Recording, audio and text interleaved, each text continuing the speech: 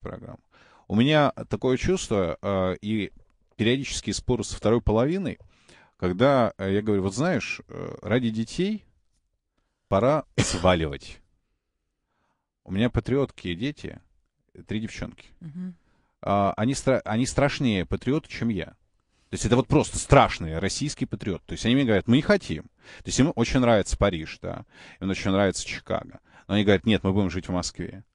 И А- супруга также. То есть патриотка, которая говорит, нет, вот ты, если хочешь, ты можешь, конечно, поехать. Но она же знает, что я без них не поеду. Ну, вы знаете, это дело, конечно, сугубо добровольное, но я как раз э, должна сказать, что я из обратной истории сама вот пришла. Если вы меня спросите, откуда я взялась с этими своими тараканами в голове на предмет этой самой коррупции. Э, Вот мы нашу эту российскую организацию, Центр антикоррупционных исследований и инициатив, а, в декабре 99 года с друзьями, с коллегами замутили. Как раз я бросила Париж, и я там работала, занималась изучением, чисто работа такая исследовательская Мгм. в научной организации, подразделении Орга- наукой. Организации экономического сотрудничества и развития. Коррупцию изучала, там какие-то рекомендации формулировали. И мне в какой-то момент показалось, что крайне важно вернуться и делать что-то там, где надо, а не со стороны там поплевывать вот в эту большую помойку, говоря, что вот в этой теме никогда ничего не изменится. И я, как ни странно, при том, что знание за эти 10 лет у меня, в общем-то, приумножилось, и не, не могу не сказать, что, не могу сказать, что у меня волосы на голове иногда не шевелятся, когда к нам приходят, э, у нас есть приемные, куда приходят люди, у нас в Москве есть, во Владимире, в Воронеже приемные. Когда я слышу эту историю, у меня волосы там поднимаются дыбом, потому что вот сидит реальный человек, и, и хочется пойти уже пойти и вот набить морду там той тетке, которая отказала там вместе в детском садике. Причем почему отказала, непонятно, потому что могла бы. Ну вот, и вот она вот такая, да. Там какие-то отнимания у стареньких бабушек их несчастных шестисоток. Та- то есть люди-то приходят вот с таким, с банальным. А потом приходят бизнесмены, весь такой... Житейским, не банальным. Но оно Елена стра- житейским. страшным и житейским. И от этого еще более страшным, потому что житейским, потому что у половины наших слушателей есть шесть соток, и, и в один прекрасный день кто-нибудь решит что-нибудь построить рядом и скажет, ну и ладно, не будет у вас больше шести соток. И- И от этого страшно, потому что это какой-то такой вот, знаете, как, ну, как дверь открыть, там, руки помыть. Что Воздухом для, подышать. Да, для них это какая-то такая совершенно бытовая история. А потом приходит предприниматель, который рассказывает горящими глазами, что вот, я буду делать честный бизнес, я вот там плитку произвожу, я там еще какие-то диоды произвожу. Ну, какой-то реальный бизнес, не такой вот там быстро-быстро вложить, быстро-быстро э, постричь купоны, да. Хотя и- здесь и- мозги нужны. ну, но там как-то вот с этим честностью и там этичностью изначально есть вопросы. А мы говорим такой вот, приходят такие классные ребята, старшие, младшие, неважно. Говорят, вот я буду делать бизнес, я вот там буду производить, я вот такой придумал там штуку, мы будем перегонять это в там, молоко, превращать там, не знаю, в взбитые сливки прям на глазах у изумленной общественности. Проходит какое-то время, и приходит вот этот человек спустя, там, я не помню, пять лет продержался и говорит, все, продал. Кстати, ну, не, не без прибыли, продал компанию, закрылась. Не могу. На мой вопрос, почему? У тебя же глаза горели, ты эту плитку какую-то там хотел делать, какую-то супер-пупер круче итальянскую. Он говорит, ты знаешь, а, бизнес превратился в хобби. Я-то думал, я буду развиваться, а получалось так, что все, что я зарабатываю, я раздаю каким-то посторонним людям. Не вот детям своим, там, что-то дополнительно там вкладываю в образование, не в развитие, в производство, не в инновации, которые я придумал, а вот когда, значит, я все это сделал, потом ко мне раз пришли, у них то выборы, то тротуар перемостить, то просто пришли, то говорят, вот у вас это неправильно, то у вас вот тех техрегламент нарушен. И вот я все это раз раздал на круг, два со- с меня собрали, три. Да, что-то остается, нельзя сказать, что бедствую. Ну, идиотизм ситуации просто заставляет, ну, кто-то остается, кто-то встраивается, кто-то находит каналы, кто-то приобретает крышу административную, там, находит знакомых и друзей. Все по-разному к этому относятся. Но общее вот это отношение, что ну, ну сколько можно, оно действительно присутствует.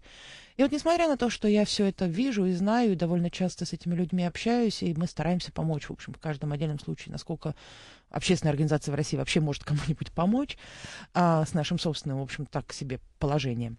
А, я все равно считаю, что надо это все делать, потому что вы сказали слово дети, понимаете, Э, вот, то есть добить все это до полного беспредела, бросить все равно им придется оставлять родину. Это, это, в смысле, а мы им оставим родину, в, им в пользовании, в управлении. И Оставлять меня... не в смысле уехать, да, а... а и, и, и мы там состаримся, будем сидеть с вами на лавочке, вспоминать дни иные, а, а им придется в этом жить по-настоящему. Но и хочется, чтобы как бы они получали что-то лучшее, чем то, что получили мы. И... А, в этом смысле, вот как раз я говорила про причины какие-то. Мы же действительно в стране упустили какую-то парадоксальную вещь. Мы никогда ее не сделали. А мы вот сейчас, к 2010 году, мы там и приватизации провели, там экономические реформы, такие реформы, там национальные проекты, социальные какие-то реформы. Мы 30 раз э, реформировали нашу там социалку здравоохранения, образование, классы увеличивали, классы уменьшали. Что мы не сделали? С чем мы советским пришли? Вот у нас просто советское. Вот как оно было, так и осталось. Государственная служба. Причем ударение это на слове государственное, да? Не на слове служба. И когда, знаете, очень бывают смешные истории, когда я рассказываю там про принципы, на которых должно строиться настоящее некоррумпированное прозрачное общество. Uh-huh. Там три принципа. Ну, банальные, заезженные уже теперь до, до, до дырок прозрачность, подотчетность, порядочность. И когда разговариваешь с чиновниками, ну, я до порядочности редко, редко доходит, потому что тут как бы ну, вне контекста зачастую бывает. Но для меня был первый раз сумасшедший шок, что когда я говорила подотчетность, они свято уверены были, что я говорю про подотчетность нас, граждан, ну, посредством налогов, там, права порядка, им. А мы-то хотим от них подотчетности, что они там делают для нас – это страшная история на самом деле, потому что они концептуально не понимают базовые вещи, которые ну, любому нормальному человеку, живущему в 21 веке, должны быть понятны. По принципу, это о чем вы? Когда мы, я, я до сих пор помню эти истории, когда там в начале 2000 2001-2002, да, в общем, с людьми довольно высокопоставленными и не глупыми, и образованными, uh-huh. обсуждали проблему конфликта интересов. Ну, есть такая тематический раздел Да-да-да. в противодействии коррупции, uh-huh. да регулирование и избежание конфликта интересов. И они вроде как термины сами эти понимают. Они в книжках читали, там, conflict of interest, да, там, декларация конфликта интересов, там.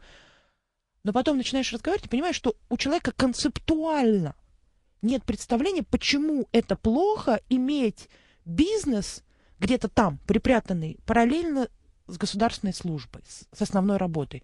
Почему это плохо, что ты вот работаешь и регулируешь какую-то сферу нашей жизнедеятельности, а у твоей супруги, брата, свата, мамы, папы бизнес в той же сфере, в которую ты регулируешь. И не то, что то есть они как раз понимают с точки зрения права, почему это плохо, потому что тут вот могут, могут вот тут вот претензию предъявить и так далее. А вот концептуально, что не так с подобной ситуацией, этого понимания нет. Наоборот, есть понимание, что а как же, а в каком, какой смысл иначе быть на этой службе? Потому что ударение на слове государственное, быть поближе к государству. А служба, она вторична относительно этого. И, и, и вот именно поэтому сейчас у нас ничего не происходит, потому что вот это притащ, то, что мы притащили еще с наших советских времен и никогда не изменили, а, оно, оно так и есть.